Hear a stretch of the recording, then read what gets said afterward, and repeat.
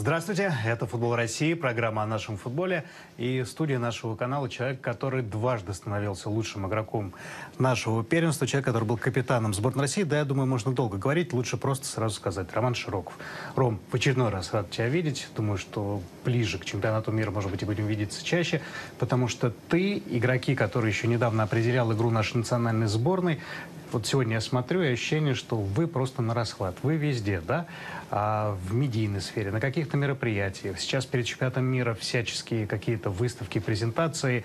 И вот э, поколение тех, кто чуть раньше играл, там, ты, да, кто недавно закончил, вы везде. Вот чувствуешь, что вот, ну, уже всплеск интереса и к вам, и к чемпионату в целом?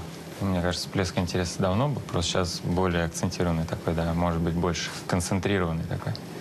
Вот, поэтому, да, частенько где куда-то зовут, где-то пересекаемся. Ну, у тебя в любом случае, потому что видно из прессы, из интервью, нет э, недостатка в каких-то предложениях, да? Ты один из самых востребованных людей, пусть сейчас напрямую не в футболе, а рядом с футболом в каких-то программах.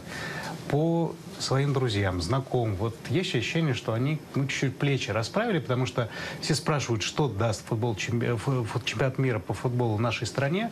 Я бы спросил даже чуть иначе, потому что ответ на этот вопрос понятен, что он даст футболистам и тренерам, которые вот либо закончили, либо по-прежнему играют, либо хотят чему-то научиться. Вот если попытаться ответить на этот вопрос, ты бы что сказал? Я думаю, те, кто хочет чему-то научиться, чемпионат мира даст много. Вот. Э, для тех, кто хочет себя как-то а, сказать, сказать правильно, наверное,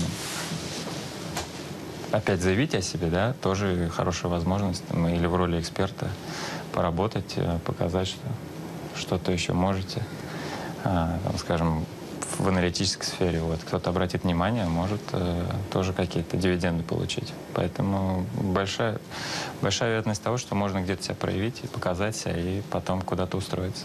Один из, наверное, самых интересных и неожиданных визитов для тебя в последнее время – это поездка в Швейцарию, Ньон, штаб-квартиру а, УЕФА, ФИФА. Вот что это был за визит? Как, я понимаю, ты только-только вернулся, как это все получилось. И я понимаю, там, помимо всего остального, еще и очень интересное и приятное общение было. Ну да, а, это где-то месяц, наверное, полтора назад организовалась, так скажем, поездка. Леонид Викторович Слуцкий привозил свою школу в Москву, они играли с ЦСКА. Ну и там встретились, поговорили, и он сказал, что едет на финал четырех юношеской лиги чемпионов, и говорит, у меня есть билеты. Я говорю, ну, если есть, я, я тоже с удовольствием приехал, посмотрел бы. И вот мы вместе поехали. Он и Олег Яровинский был. Вот мы смотрели финал четырех. Э, скажем так, был приятно удивлен уровнем. Вот, и тем, как ребята вообще играют. И то, что умеют и делают на поле. Вот. У нас, к сожалению, именно таких действий не замечал. А у нас три клуба играло в этой юношеской лиге чемпионов. «Спартак», «Краснодар» и «ЦСКА». А Краснодар сделал настоящий ажиотаж в стране, когда вышел э, в плей-офф на мадридский Реал. Эту историю обсуждали все люди, не безучастные к футболу. И по итогам этого розыгрыша нападающий Краснодара Игнатьев стал лучшим бомбардиром юношеской лиги чемпионов с десятью мячами. Ты когда был в Краснодаре, говорили уже вот э, не только про это замечательное поколение 99 -го года рождения, но и про Игнатьева как лидера вот этих молодых быков, который должен подойти. Ты увидел в тренировках, что это за игрок, если ты знаешь? Я его не видел в тренировках, но когда я был, уже говорили о том, что 99 год это один из самых сильных за последнее время. Именно, но, насколько я понимаю, они единственный или первый на данный момент, кто все стадии прошел от начала до конца Академии. Вот, и уже тогда говорили, что это один из сильнейших э, годов, которые есть. Но конкретно про Игнатьева я тогда не слышал, но, если не ошибаюсь, четырех или пятерых игроков оттуда выделяли из этой команды. Один из самых неожиданных ходов, который сделал Сергей Галицкий, это отставив Шалимова, назначил на пост главного тренера Краснодара Мусаева. А, и кто-то говорит, что он потенциальный гений. А, просто ему самое сложное, удастся ли справиться с психологическим давлением, потому что президент клуба Сергей Галицкий – это очень сильная личность, и надо уметь, наверное, и какие-то свои взгляды отстаивать. Это всегда очень сложный вызов. И, ну, конечно же, никто не знает, э, кто такой Мусаев во взрослом футболе, в особенности после неудачи. Как вот когда Краснодар в прошлом туре проиграл ЦСКА, э, ну, все сочли, что, может быть, это отчасти и тренерское поражение. Вот эта вот философия вырастить собственного тренера в системе клуба. А, Ты часто общался с Галицким. Когда он к этой мысли пришел, на твой взгляд? Мне кажется, у него изначально было такое понимание. Наряду с игроками растить собственные тренерские кадры, чтобы потом они не брать кого-то, а своими замещать те вакансии, которые появляются в клубе, вплоть до главного тренера основной команды. Опять же, Мусаев, тебе что-то конкретно эта фамилия говорит, как тренер? Да? Понятно, когда ты был, он работал даже не с юношеской, по-моему, командой, а Да, с его- молодежной, я а его не уровнем знаю. возрастом ниже. Я его не знаю, вот, но надеюсь, что у него все получится. Ему, наверное, карт-бланш дают. Вот, и будут поддерживать. Ну и начал он достаточно неплохо, с двух побед. Вот, ну, поражение всегда бывает, но посмотрим, как он с этим справится. Как давно, если об этом можно сказать, ты последний раз общался с Галицким, потому что когда ты покидал Краснодар, возвращался в Москву, это была очень красивая во всех смыслах история. И очень достойные слова в твою спину были Галицким сказаны. Про уважение, про твои игровые качества. Общение остается или переезд Ну, в Москву как- когда, когда видимся, да. Ну, видимся довольно редко. Я больше на связи э, с Владимиром Леонидовичем Хашиком. Вот. Но когда Сергей Николаевич где-то вижу, естественно, мы общаемся. Ну, последний раз это было вот на футболе. Наверное, как раз Краснодар-Зенит. Краснодар. Чемпионат России в этом году, он особенный чем-то? Он похож на прошлогодний? Прошлогодний точно не похож. Все идет к тому, что у нас будет другой чемпион. Вот, поэтому он уже не похож. Но здесь такая жаркая схватка за второе место разгорается. Будет интересно посмотреть, кто все-таки возьмет верх. Обе команды для тебя не чужие, и «Спартак», и «ЦСКА». Ты играл и за одну, и за другую. Вот э, почему «Спартак»? Все пытаются понять, сбавил на финише вот эти 8 дней, в которых, по сути, и чемпионат был проигран, и кубок. И за счет чего ЦСКА так прибавил. Ведь в Гончаренко не верили, когда он только пришел в ЦСКА, не только потому, что его считали каким-то тренером, может быть, не очень сильным для сверхзадач, но и потому, что все видели, какие проблемы с составом. Но ЦСКА, несмотря на травмы, потери, играет просто удивительно. ЦСКА давно приучил к тому, что они играют и выжимают максимум из минимума, который есть. Насколько я помню и знаю, Черенко всегда был перспективным тренером. Плюс он был в системе ЦСКА, прекрасно знает ребят. Поэтому для меня лично ничего удивительного нет в том, что они так играют. «Спартак», как мне кажется, играет на своем уровне прошлого года. Просто нет того фарта, который был в том году. Поэтому все вернулось на круги своя, в принципе. Хотя они располагают, наверное, самой мощной атакующей линией, но баланса нет в игре. Наверное, из-за этого и проигрывают. Или какие-то очки не добирают. Э, Но я бы еще сказал, что, наверное, и «Зенит» рано списывать со счетов. Все-таки они захотят вклиниться в эту двойку за, в борьбе за второе место. Вот, ближайший тур, я думаю, многое прояснит в этой, в этой ситуации. «Зенит». Вот как бы ни закончился этот сезон, уже все говорят о том, что источники все говорят, что Роберт Манчини объявил игрокам об уходе. А, на твой взгляд, кто бы ни пришел после Манчини, означает ли это, что нужно будет строить новую команду? Глобально новую команду? Глобально, наверное, не стоит строить, потому что все-таки игроков, которых приобретали и прошлым летом, и нынешней зимой, все-таки достаточно молодые. То есть брали на перспективу. И нужно, наверное, работать с ними и как-то развивать команду. Плюс «Зенита» еще есть там от 10 до 12, мне кажется, арендованных, футбо- э, отданных в аренду футболистов, которые Начиная с тоже вернутся. да? Да, Дзюба, Новосельцев, там, э, там и Нета, и тот же Жулиано, и Шатов может возвратиться. Да? Это все футболисты, на которых, вокруг которых можно строить команду. А, Я не знаю, Ром, вот наступила ли у тебя какая-то ясность или понимание относительно твоего футбольного будущего, потому что ты, в отличие от э, многих колеблющихся коллег по сборной, по клубам, сразу сказал, что ты видишь свою карьеру именно как менеджер, там, как управленец. А, я не знаю, у нас разные возможности быть управленцем в футболе, от спортивной составляющей до коммерческой, генеральной, какой угодно.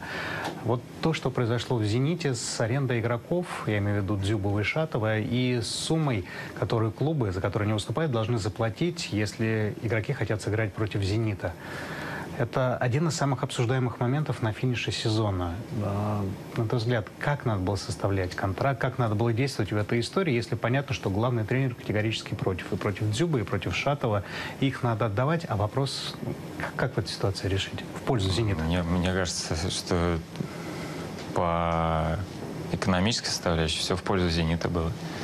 Ну, на абсолютно правильное решение. Если э, главный тренер не видит их в основном составе, то вообще в, команде, наверное, да, не рассчитывает, то нужно их отдавать.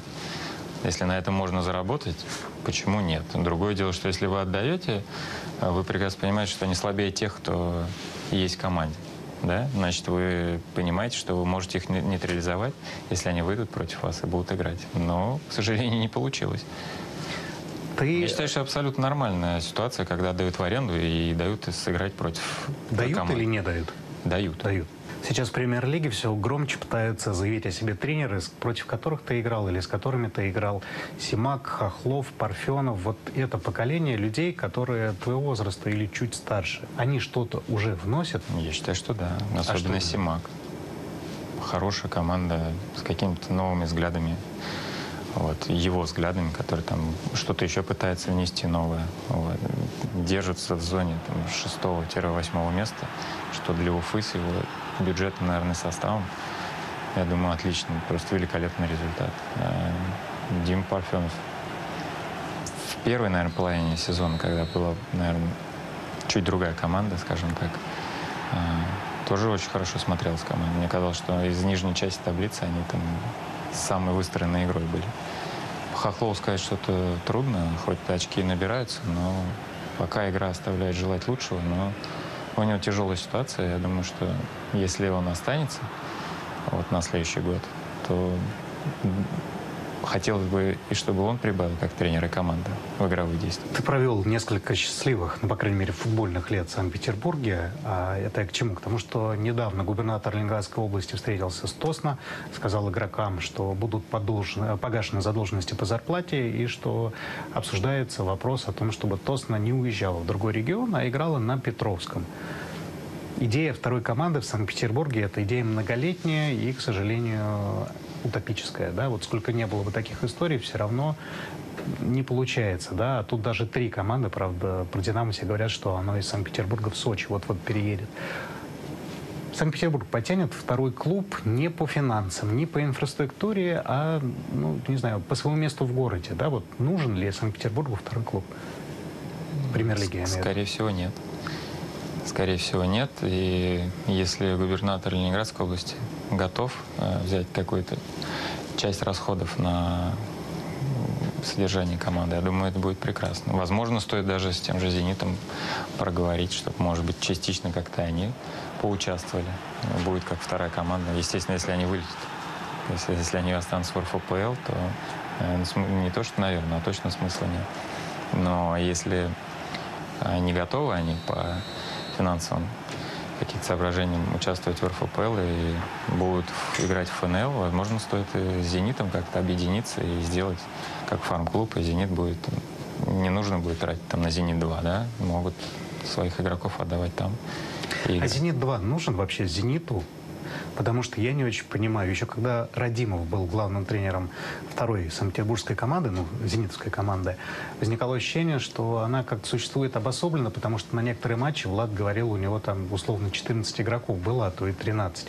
Сейчас, когда главный тренер Константин Зарянов, игроки там все-таки присутствуют, если кто-то только из них не пропадет на несколько дней а, по каким-то причинам. Но все равно, вот «Зенит-2», да, «Спартак-2», говорят, что «Спартак-2» рассматривает вариант переезда в другой город, чтобы стать автономным клубом. Идея вторых команд, она реализовалась? Я считаю, что да. Она должна больше реализовываться. Это как раз те ребята, которые переросли дубль, но еще не, не, не совсем сформировались и могут получать как игровую практику, так и развиваться в, как раз в этих командах. И то, что они играют в ФНЛ, я думаю, это вообще прекрасно. Поэтому, ну, по моему мнению, это отличное. Так, и хотят же сделать там условно переходный такой чемпионат Ю-19. Вот он и есть.